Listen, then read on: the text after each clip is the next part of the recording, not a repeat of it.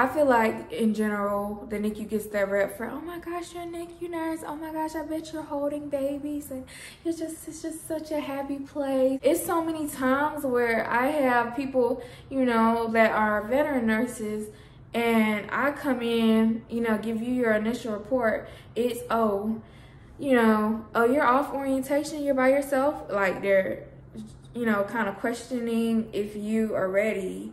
And then, it's like asking you double triple checking if you did stuff. You're telling them like oh yes i already did that. I already did that. And you come in the next night so we transition. You know i give her a report and they're like okay thank you. You come back the next night to get report back from that same nurse and they're halfway ready. They forgot to do this. They forgot to do that. They're laughing it off. And you're just sitting there like is this the same nurse I just got report from earlier that made me feel like I didn't know what I was doing? But now it's jokey jokey ha ha. Knowing what fluid goes with what issue. If my baby's having sugar issues, do I give it normal saline? Do I know what fluids are compatible with TPN? Can I run dopamine with TPN and lipids? Can you answer these questions? So a few things that if I had to give myself some advice or welcome to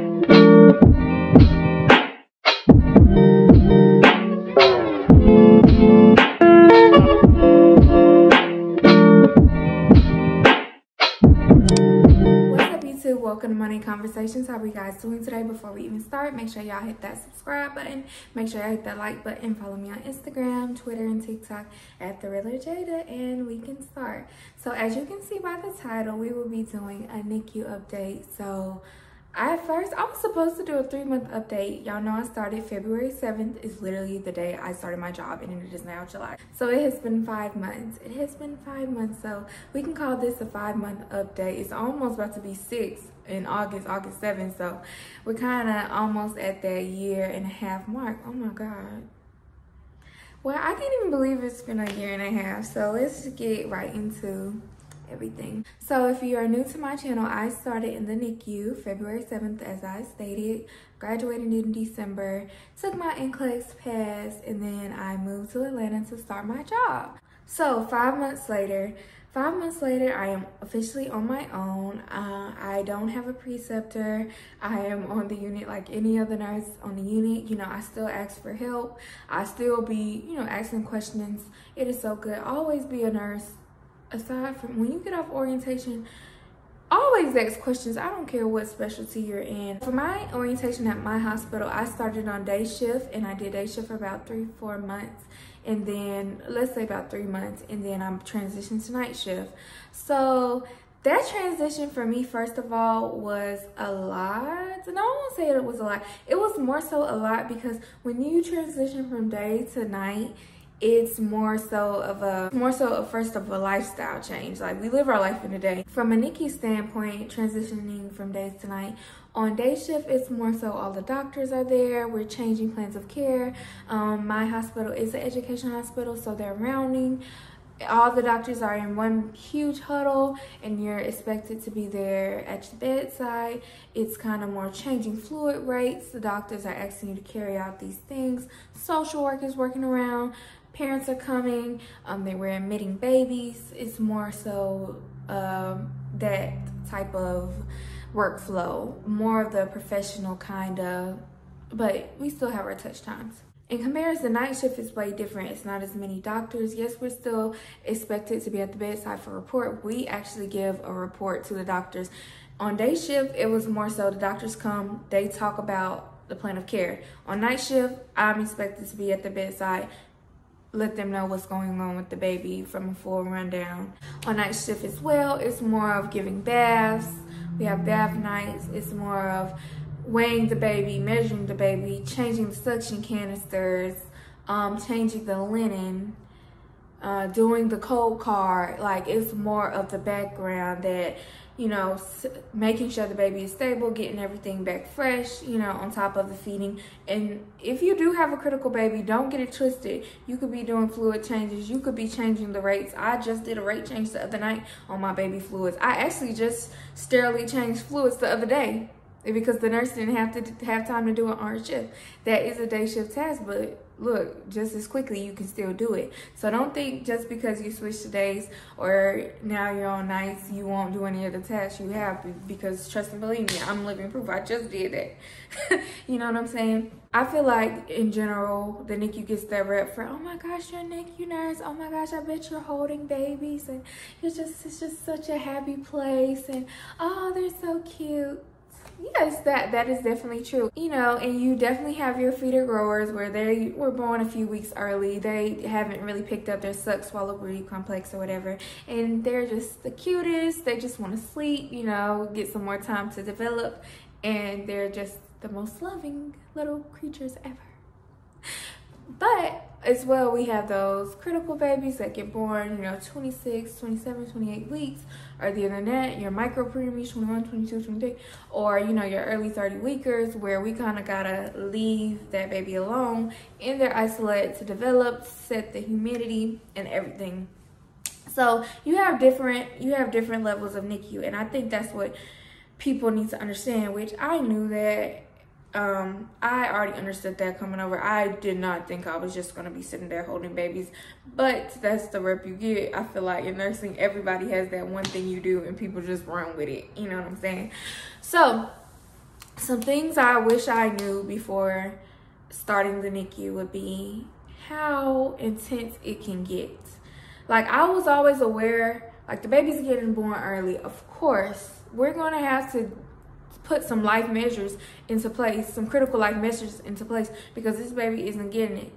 So a few things that if I had to give myself some advice or if I had to give myself, if I was watching this video in February and I was like, Jada, please tell me what, what could I look up to make me more prepared for the NICU? You're gonna have to go through that phase of not being prepared at any job you get. You cannot possibly know everything, so don't think you need to know that. But here are some little things that I wish I knew that I would would have looked up, you know. Knowing your sugars, knowing your vital signs for the babies. I already had like a little base level. I knew, you know, infants breathe higher, their heart rate was higher, but like specifics like the blood sugars and stuff like that. In nursing school, they drill adult labs, adult vital signs into us, knowing sugars, you know, 60 to 100, you know, all those. So um, in the NICU, your hospital may have different practices, but for for example, my like my doctor's orders always say all the time, notify if sugar less than 40, higher than 120. You know what I'm saying? And sugar is a big thing in the NICU. Like when we admit a baby, one of the first thing we do is um, get a blood sugar on them. And when I tell you, you get that blood sugar and it's 19, literally I admitted a baby the other day and it was like that. They're going to press you about getting some D10 started or stuff like that. And knowing how to anticipate things. Yes, I knew like little fluids, but knowing what fluid goes with what issue. If my baby's having sugar, it issues, do I give it normal saline? Do I know what fluids are compatible with TPN? Can I run dopamine with TPN and lipids? Can you answer these questions? No? It's okay because a couple months ago I couldn't either. Go look that up. Go go look that up because that is that is something you will do in the NICU all the time and I wish I would have took more time to learn simple things like that. The NICU and babies. I feel like in the adult world, we drive CPR, heart, heart, heart, heart, heart, heart, heart. In the NICU, we are so respiratory driven. Like, you know, CPR and our algorithm is called NRP, um, neonatal resuscitation. We do so many steps before we even start chest compressions. You're gonna do, I think it's not even to seven, eight minutes into our algorithm that we do uh, chest compressions. NICU is so respiratory driven. Like, you got to think about it. The ba the baby's body surface or like the body is less to travel. You know, the thought process is with CPR is there's still oxygen in the blood. And if we can pump that around an adult, we can still get oxygen to the brain and get, you know, the heart back beating and everything. For baby, it's not really much of a circulatory system, especially if they're born early. Most of the time, that heart, those ducts haven't even closed off yet. So we're still trying to, you know, get everything together. we're they're breathers. They're breathers, so it's mostly respiratory. That's what I wish I would have knew. So looking up and knowing things like, you know, your low flow nasal cannula, high flow nasal cannula, CPAP, bubble CPAP, oh, ventilator, intubation, intubation, blood gases. Those are so, like, that is almost the heart of the NICU. It's so funny. I'm saying the respiratory is the heart. Literally. I learned, I have learned so much about respiratory. Like, I have babies that are intubated all the time. Do you think I was not in nursing school? You couldn't have paid me a million dollars to tell me most of my patients would be intubated. I would have been like, no, I'm going with babies, women. I'm not going to be looking at no intubated patients. That's literally what I would have said. And now I've had more intubated patients than anything like SIMV, my baby stay on the vent if I get, you know, a more critical baby. You know what I'm saying? If I don't get a feeder grower, uh, my baby's on CPAP, nasal CPAP. You know, all these different little things I just told y'all, my baby, like, it's respiratory driven. So, if anything, if you don't listen to anything I say in this video, go look up some respiratory for um, the NICU. That's that's what I would. That would be the strongest highlight. If anything, if you walk in there knowing some stuff about your respiratory, you walk in there knowing some stuff about TPN, nutrition, stuff compatibility, then you're great. The other stuff you're gonna learn as you go, like, you know, babies eating every three hours, you know, changing diapers, skin assessments, always assess the skin. Like I have had already as a new grad, I've had some good catches of like something we didn't assess because we, you know, we think of babies like let me just give you some advice my preceptor gave me because I don't want to, you know, say too much or whatever. My preceptor sat me down one day after we had like a maybe a 24, 25 weeker. And I didn't know what to do because it was just like, oh my gosh, this baby is so, so small. How do I even approach this baby? My preceptor told me, and I will never forget this, you will do the same assessment for every baby. I don't care babies can come in, you know, in plastic, the plastic wraps because they're so small. Babies can come in on, co on cooling. And, you know, you don't want to lift them off the cooling blanket or with HIE, you know what I'm saying? Different babies come in so small, but you're to always do your, the same assessment. If you, I, because I can promise you, this literally just happened if you don't do part of your assessment because you think, oh, the baby's too small, it can't tolerate that, I promise you, you're going to miss something. Do it, I don't care. Flip that baby over. You know, do it gently. You're to do different, you know, you're to use different touch and approach it differently for different babies. You know, you can't just pick a 23 weeker up the way you can a 39 is 40 weeker you know what i'm saying? That's that's what i'm really trying to get for you guys because still to this day it takes me a lot to understand that because when your baby's intubated and as soon as you touch the baby and you see the sats dropping 60 70 that's that's another thing i want to talk about. The sats are way different. Like for adults you probably would drive yourself crazy if you seen adult patient sats in the 50s but in the NICU, we're looking like, oh Lord, my baby. Let me give him some manual breaths. Let me, you know, get a respiratory therapist. But we really control, like, we really run those practices ourselves in my NICU. And it's just like, give, giving your baby those breaths, make sure you suction the baby and getting them back. You know what I'm saying? So yeah, I will say mentally as a nurse, I feel like I'm growing a lot it, it makes me feel better. A lot of nurses on my unit, they tell me all the time, like, I can tell you're gonna be a good nurse. I had a, I had a respiratory therapist uh, tell me one time, be like, Jada, you know you're a hard worker. Like, one thing about me, if anything, I'm gonna try, and this is actually a downfall of myself, any test that I I'm supposed to be doing or any like when I get report and I hear what I need to do for the baby, I'm gonna try everything in my power to complete everything you're not going to be able to complete everything. Now, I'm not saying don't do a test because you know, oh, they can do that too. No, if it's in your power to do it, do it. But don't burn yourself out doing it. And that's where I need to learn. Having that voice also to pass off things. I don't be feeling comfortable. You know, a lot of nurses in the NICU are older than me and I'm the new grad. You know, I just graduated, so I've barely been a nurse for is I haven't even been a nurse. Like some of them have been a nurse for how long I've been alive. You know what I'm saying? Like for example, the other day I told y'all on night shift we do these code cards. A code card is basically you take the baby's weight and if there was a code situation, there's about 10 medications on there and you multiply it. You know, you do you do mad math after nursing school. Don't leave that. Please. That's another tip. But you know, it's like 10 emergency, you know, epinephrine, all that. Um, medication. So if there was emergency, we don't gotta sit there and calculate, oh, you know, the baby's uh, 1700 grams. We need to um, no, you wouldn't do all that. It's all listed and you have to do that every Sunday. So the nurse is responsible for doing it. Two nurses look at it and sign it off, but night shift is responsible. So I did it. You know, I did the whole thing. I check it off three times just because I'm that type of nurse. But I didn't get a second signature because we were a little I'm not gonna lie, we were a little short staffed that night. Everybody's, you know, doing their stuff for change of shift. I'm like, dog, I did not get a second nurse to check it off. So, you know, I'm about to give report. I'm like, you know what? I just asked the day shift nurse to check it off. Not a big deal. I didn't completed all the tasks, everything the baby, gave the baby the bath, you know, unthawed milk, got you some syringes ready for the next nurse. You know, that's another thing I'll talk about. You know, I did everything possibly. I think the baby, oh, the baby had to get a newborn screening. I did the baby's labs, everything done, medication given, nothing out of the ordinary that the nurse would be like. So y'all, I go to tell this nurse, like, hey, you know, she's like, oh, thank you, you know, getting report. She's like, okay, yes, you did everything, cool, cool.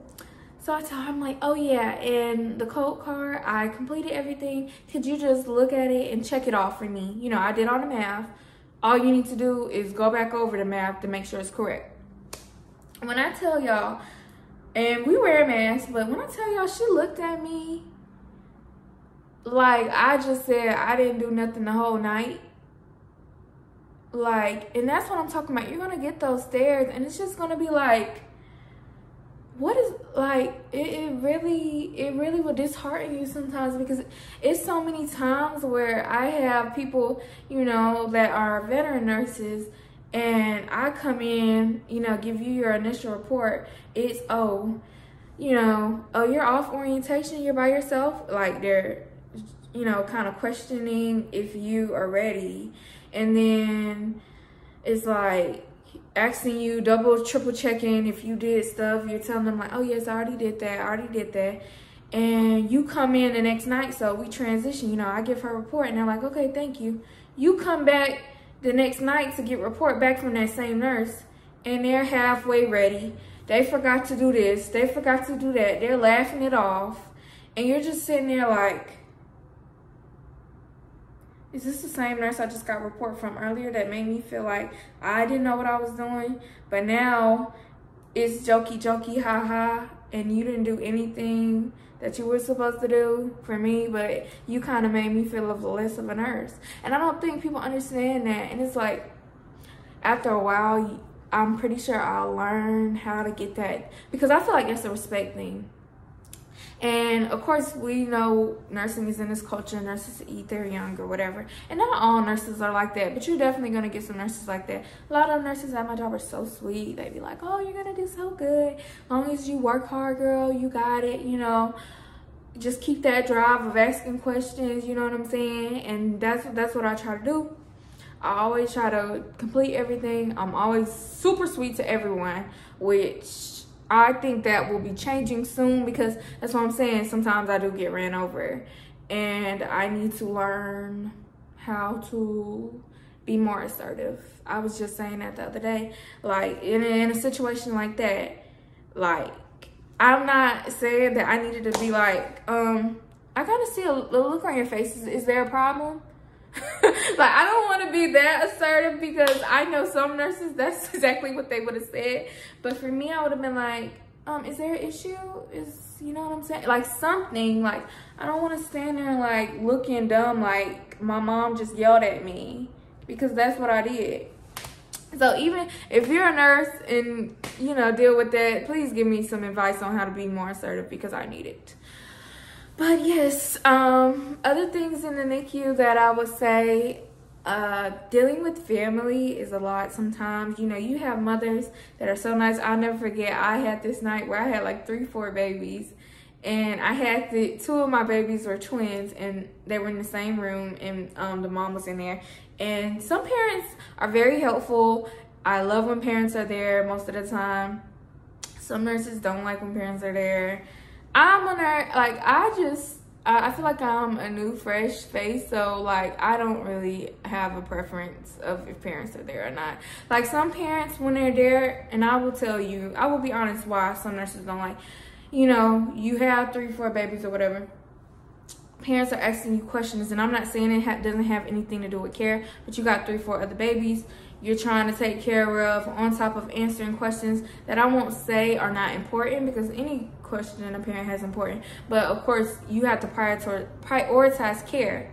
And as a new nurse, that is even stressful for me because when a parent is asking me a question and I may not know it because parents, you know, they don't know what they can ask, but I tell them just always ask. It, it eats me up if I can't answer. I'm over here like, okay, let me, do I need to drop what I'm doing to go answer this question? That probably I could have just handled it better and been like, have some other babies. I'm going to go do their touch times. I'm going to go do my other baby's assessment. But I will get right back to, to you on that. What time are you leaving?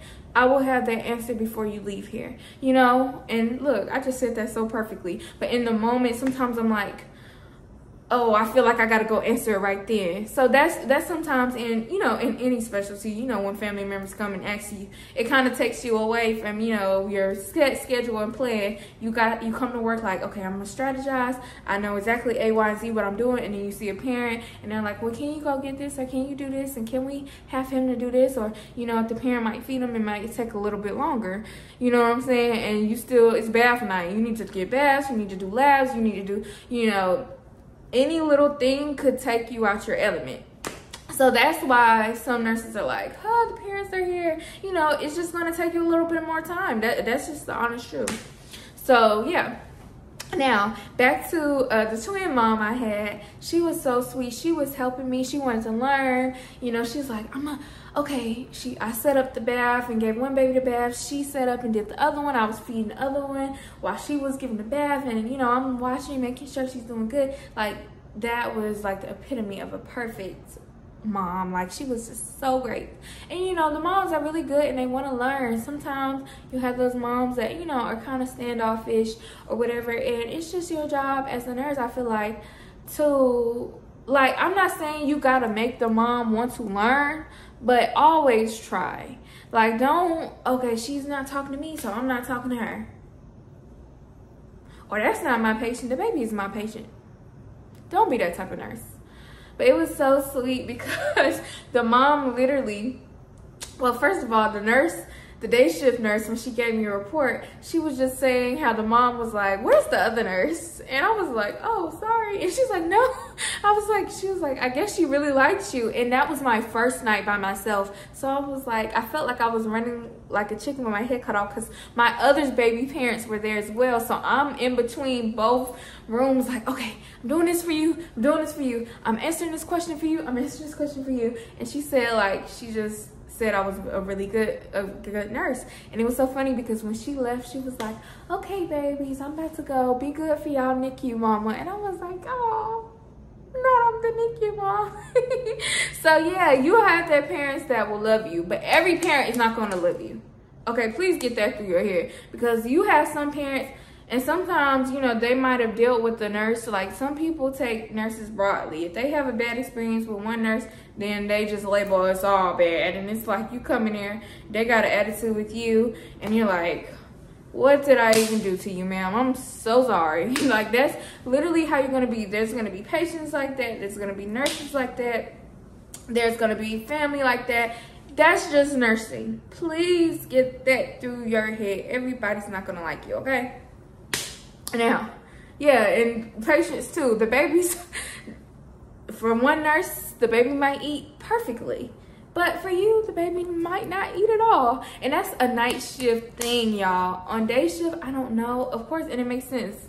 Even us as adults, we eat probably more at 3 p.m. than 3 a.m. So I'm waking my baby up to eat this bottle and I just gave the baby a bath he or she is knocked out. Like, girl, you can take that bottle and do something else. And then you got to feed the baby through the NG tube. And it's like, you know, the day shift nurse, like, oh yeah, um, the baby took all the feeds PO. And you're like, yeah, about that. He would not even wake up, show any type of interest for me. Don't force your babies to eat. Don't force your babies to eat. I do not like when nurses force their babies to eat. Like, I will try everything in my power to wake a baby up because you can cause oral aversion and that's basically when you keep like trying to feed a baby and then they just give up because babies they don't really know. They just got here. They're like okay, I don't like this. I'm just gonna die. like literally, like I don't like what you're doing to me. Boom, the monitors start going off, the baby's desat, and the heart rate is dropping. They're bradying because they're like, well, I don't like this. I just choked. You basically just tried to drown me. Don't force your baby's eat. I always make sure, you know, my babies are showing cues before they eat. And, you know, you can do stuff. It's stuff you can do as the nurse to wake the baby up. I'm not saying keep the baby swaddled you know, give the bottle. They still knocked out. Unswaddle that baby. Change. You should be changing the diaper every touch time. Changing their diapers will wake them up. You know, like don't. That cold wipe will. They'll be like, okay, I'm getting up. That wipe was cold. You know, change their diaper, you know, kind of stimulate them a little bit, like, hey, baby, wake up. You know, sometimes I repos take their hat off, put it back on, like, kind of just mess with them, you know, get their socks or change the post socks, little things that you already got to do, do that you know, maybe, you know, change their cover, change their linen, or change their shirt. You see a little something on their shirt. Little stuff like that will wake them up. They're like, girl, you're waking me up. Yes, it's time to get up and eat, you know, because you want to keep their PO up because that's usually what gets them out of there, especially your feeder growers. The doctors are focusing on how much can they PO because you want to be that nurse that at least tries. You don't want the day shift nurse to come back and like, oh yeah, I fed them all the feeds through the tube. Like, come on now. But, you know, if one feed, the baby is knocked out sleep and you can't do nothing, that's fine. You know what I'm saying? They only, you know, they had a 40 milliliter and they only took 10, you tube one. Like, nobody's to cry about that because that's realistic. There's gonna be like when you take the baby home, they're not gonna eat as much in the morning as in the day. You still teach the moms like, hey, you do have to wake the baby up to eat, but they probably won't eat as much. You know, they might take two bottles at three and then one bottle or a half a bottle. You know what I'm saying? That's still fine, as long as you're waking them up every three hours. All right, you guys, sorry, my camera had died. So I was like, whoa, yeah, this video has already got really long. So I can definitely do a part two my experience has reached all different type of things. If you guys have certain questions or certain things certain situations you want to know about just any type of questions y'all got hey i can make next the next one like a q&a and kind of tailor it. But that was just a general one. So i'm still building that confidence. It's still things that i want to work on as a nurse. Like i will not know every single thing. Like it's only been five six months almost about to be six months and I feel like I'm a stronger nurse. I feel confident going to work that I can take care of the babies. It's still things that scare me like getting an admission or a super super critical baby with like dopamine and you got to do total total fluid volume goals and like it's still things that do scare me like but if I have a baby that's on SIMV that's intubated I do feel like I could take care of the baby or like oh you got to start an IV uh, I get a little nervous but I have did it multiple times, getting an ART stick, drawing labs sometimes. Like, it's so funny. The other day I had so many labs, I was knocking them out. Like, that doesn't really scare me anymore. It used to, but now it's just like, okay, I gotta draw labs. Let me put these heel warmers on. Let me get it done. Like, that's what it's becoming. It's gonna, you know, the more you do something, the more you do something, the more you do something, it's like, okay. Like the other day when I walked into basically my change of shift admission, like they had just got the baby and that was supposed to be my admission for night shift. But the nurse really couldn't do anything because we were trying to get vitamin K. Vitamin K is very important in the NICU. Y'all should know that you, the baby cannot be sticked um, unless it gets vitamin K. And that's basically to help with the baby's clotting factor. You know, without vitamin K, the baby could, you know, just keep bleeding. So that's basically what it's for. So literally, I'm she's trying to give me a report, I literally watch her give vitamin K. She's like, I wish I could help you more stuff. And that's what I'm saying. It we're it's a team effort. Like I'm not gonna have an attitude or be mad. I'm sitting here literally while she was doing stuff. She was like, Jade, okay, I'm gonna give you a report. And I'm looking, I'm literally in the computer and looking up anything I can see. And she was like, yeah, but you'll probably know more than me because she she seen me looking in the computer. I'm reading the labor delivery, you know, all the stuff that happened in delivery. Like work with your nurse. Just don't stand there like, who's gonna give me a report? I just got here, I'm not getting a report, which I'm not gonna lie that that situation was a lot. And that's why I say I gotta work on as a nurse. I, it's still some things that nurses do and I'm like, it's a respect thing. Like, don't, don't treat me like a certain way because I'm new. I still get those vibes. And I'm, I'm not, I, this is supposed to be the end of the video, but all right, you guys. So I hope you guys enjoyed this video. I'm really, really excited. Um, I want to do some more videos. Give me some more um, suggestions y'all would like to see. I really want to do a video on why I chose NICU over L&D and Mother Baby. Like certain little topics, hot topics y'all want to see, just let me know. But also, I think I do want to do a part two to this video because it got long quick. So if you have any questions that you want to see in my next NICU experience video, let me know. Or any little video ideas y'all want me to do. I love you guys so much. I cannot believe it. Can y'all believe it? Y'all probably was just watching my video passing the NCLEX and you're like, this girl has been in the NICU for six months. I'm so proud of her. I'm so proud of myself too. I definitely see the growth. All right, bye you guys. Again, follow me on Instagram. Hit that subscribe button. Hit that like button. Love y'all.